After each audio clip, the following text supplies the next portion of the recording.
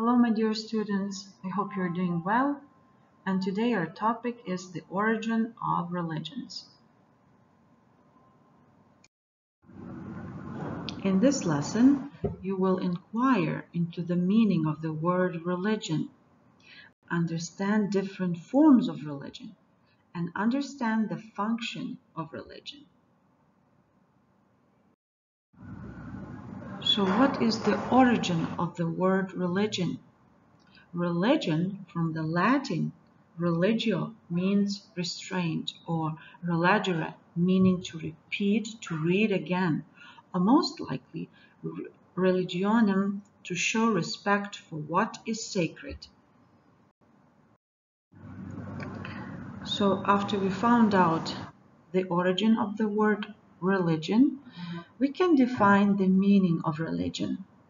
So religion is an organized system of beliefs and practices that is leading to a spiritual experience.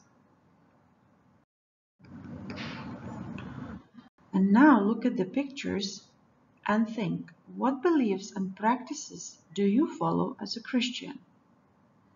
Now, we as Christians, we believe that God is a creator of the world. We believe that Jesus is the Son of God. And we believe that God shows himself in three forms. God, the Holy Spirit, and the Son, Jesus Christ. And we practice the baptism, the Holy Communion, and the prayer, of course. So what are the forms of religion? There are monotheistic religions, polytheistic, and animistic that are traditional. First, let's find out what is monotheism and what religions are monotheistic.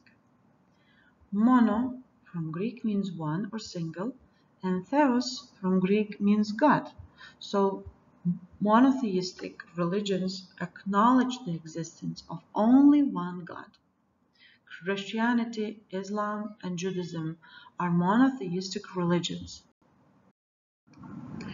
Alright, so what about polytheism? And what religions are called polytheistic? Poly from Greek means many and theos means God.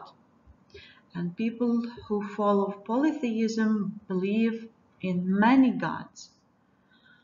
The example of polytheistic religion can be Hinduism, ancient Greeks, Egyptians, and Romans. And what is animism and what religions are animistic? From Latin, anima means spirit or soul.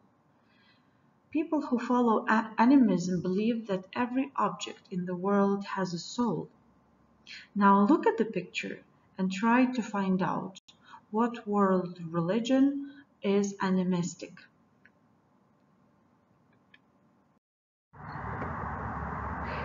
So what is the function of religion?